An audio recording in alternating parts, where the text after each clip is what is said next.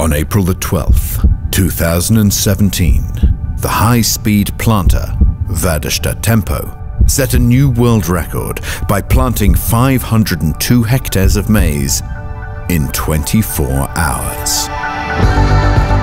Every component on the Tempo planter is built to ensure the exact same start for each seed, no matter the speed, no matter the field conditions. The heart of the Tempo planter is the unique patented Tempo seed meter with PowerShoot technology. The Tempo seed meter uses positive air pressure to make each single seed find its place on the rotating seed discs, one by one.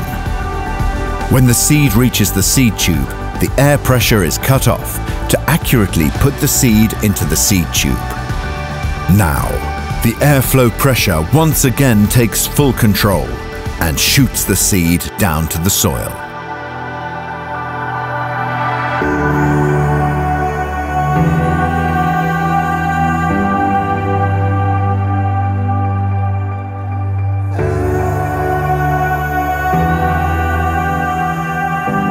Since PowerShoot takes full control of the seed all the way down to the soil, gravity, vibrations and slopes are removed from the equation. Thereby, speed is not an issue for the Tempo planter.